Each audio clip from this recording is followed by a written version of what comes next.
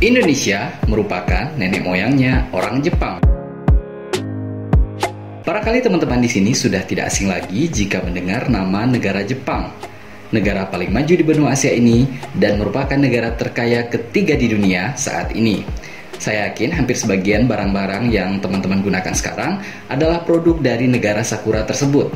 Sebut saja mobil, motor, kulkas, AC, TV, komputer, mie ramen, chicken katsu, beef teriyaki, sushi, sashimi, coklat, dan masih banyak lagi.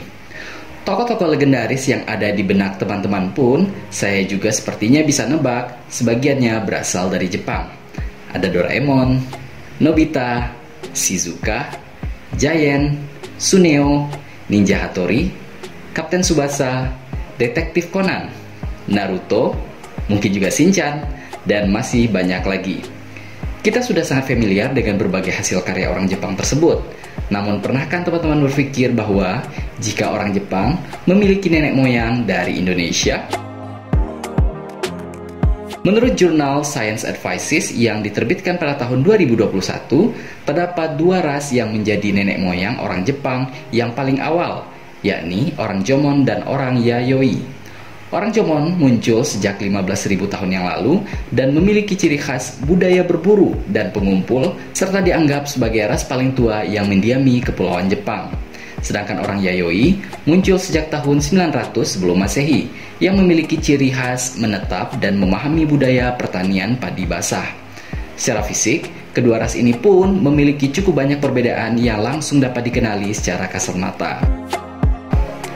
Pada tahun 1988, di Urawa, prefektur Saitama, Jepang, telah ditemukan tengkorak manusia purba Jepang yang berusia 5.900 tahun, yang di Jepang dikenal sebagai Urawa Ichigo, atau artinya Urawa nomor satu.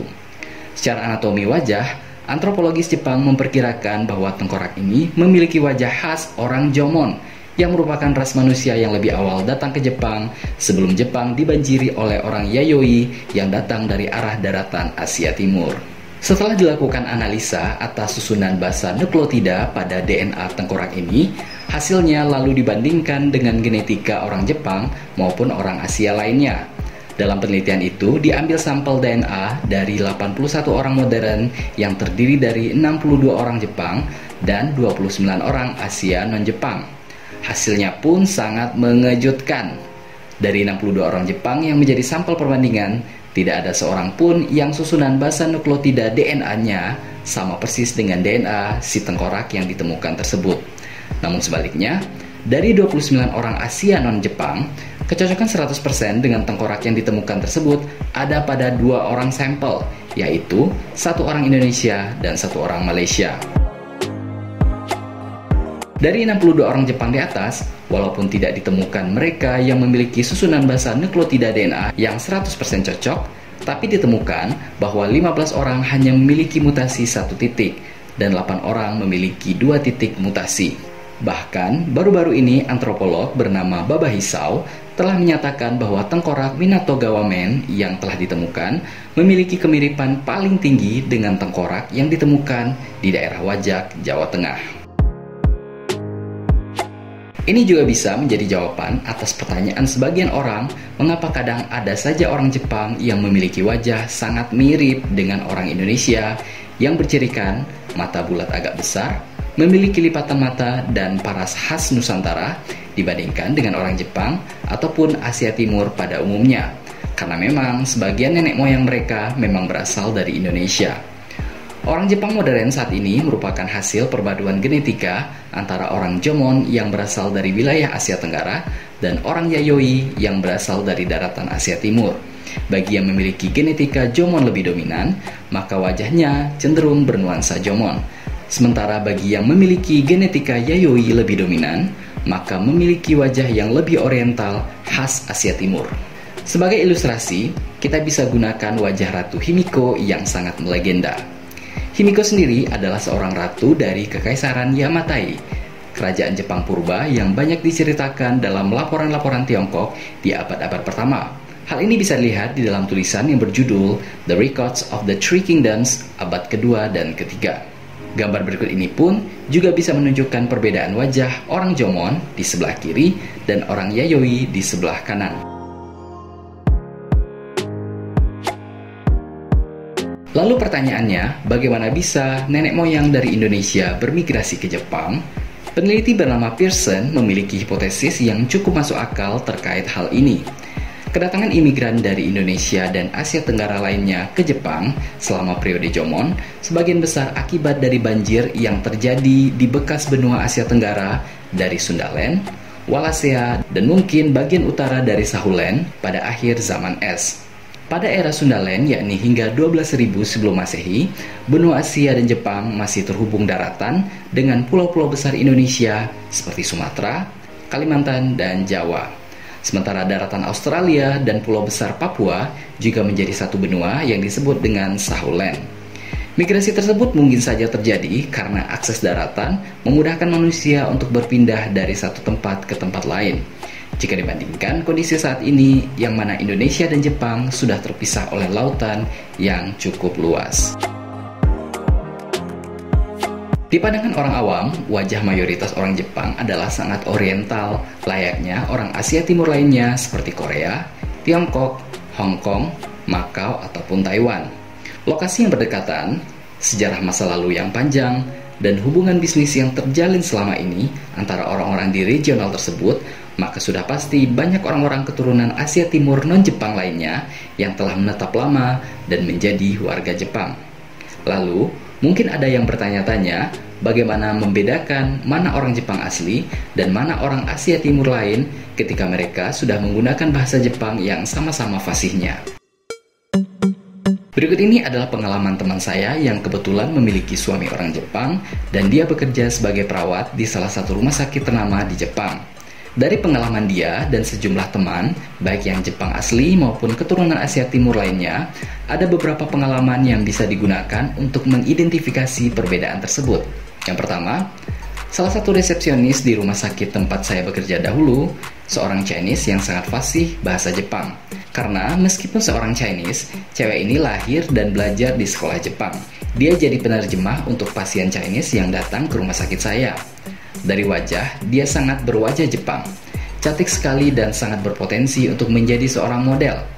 Dia juga memiliki tubuh yang tinggi dan cantik dan mampu berbahasa Jepang secara fasih tanpa ada dialek Chinese sama sekali. Pertama kali bertemu, saya mengira dia adalah orang asli Jepang.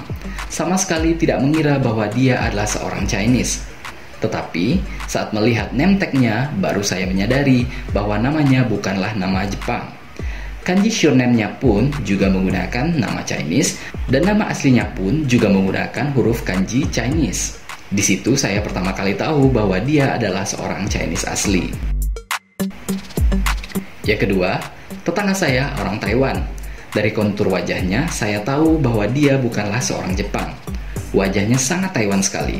Ketika dia berbicara, saya tahu bahwa dia bukanlah orang Jepang karena saat perkenalan saja, saya bisa mendengar dialek Chinese dalam bahasa Jepang yang dia lontarkan. Tetangga saya ini juga baru masuk Jepang setelah menikah dengan suaminya yang juga orang Jepang asli. Ketiga, pasien saya yang pertama, saya mengetahui dia adalah seorang Chinese meskipun namanya sudah menggunakan nama Jepang dan nama belakangnya pun juga menggunakan nama Jepang. Pasien saya ini dari SD kelas 5 sampai sekarang sudah menetap di Jepang sudah sangat fasih berbahasa Jepang dan suaminya pun juga orang Jepang. Oleh karenanya, nama lengkap orang tersebut sudah diganti dengan nama Jepang. Di awal pertemuan, saya langsung bisa mengetahui bahwa dia adalah seorang Chinese karena melihat dari cara dia berpakaian, kontur bentuk wajahnya, serta meskipun dia bisa berbahasa Jepang secara lancar, namun saya masih bisa menemukan dialek kental Chinese di setiap kata-katanya. Yang keempat, Pasien saya yang lainnya hampir sama dengan pasien sebelumnya. Dia juga telah menggunakan nama Jepang, bentuk wajahnya pun sangat mirip dengan orang Jepang asli.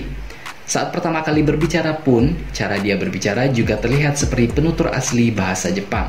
Namun, di tengah-tengah kalimatnya, terdengar dialek Chinese yang tidak bisa dia sembunyikan. Dia tinggal di Jepang setelah menikah dengan suaminya yang orang Jepang asli. Yang kelima, Staff operator di lembaga bahasa di mana saya pernah bekerja dahulu, saya tidak pernah sebelumnya melihat orang dengan wajah yang sangat Jepang dan kemampuan berbahasa Jepang yang sangat bagus, sehingga saya pada awalnya mengira bahwa dia adalah orang Jepang asli. Namun, meski dia fasih memandu tamu, saya akhirnya tetap mengetahui bahwa dia adalah seorang Chinese, bahkan sebelum dia menyebutkan namanya yang bermarga Chan di mana marga Chan adalah marga orang Chinese, apakah itu Chinese dari Tiongkok maupun dari Taiwan, dan bukan merupakan marga orang Jepang asli. Sementara dari sisi wajah, saya terkadang masih bisa membedakan mana orang Chinese dan mana orang Jepang dari kontur wajah mereka yang terlihat sangat berbeda dengan orang asli Jepang pada umumnya. Dari cara berpakaian, orang Chinese di Jepang juga cenderung cukup nyaman menggunakan warna-warna cerah untuk baju yang mereka gunakan. Kesimpulan akhir dari saya, dari pengalaman yang dia dapati, Chinese people yang lahir serta bergaul dengan orang Jepang sejak lahir, kebanyakan telah kehilangan aksen Chinese mereka. Cara berpakaian serta make up mereka pun juga mengikuti gaya orang Jepang. Sementara Chinese people yang datang ke Jepang saat mereka sudah bersekolah, misalnya SD atau SMP, dan mempelajari sistem Jepang, Kebanyakan dari mereka tidak bisa melepaskan aksen Chinese mereka, meskipun saat berbicara bahasa Jepang mereka cukup lancar, serta sangat bagus dalam hal tata bahasa.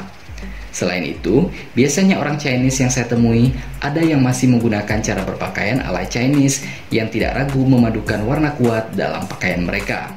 Dan untuk bagian wajah, meskipun kebanyakan saya bisa menebak mana orang Jepang asli dan mana yang bukan, namun kadang tebakan saya juga bisa salah.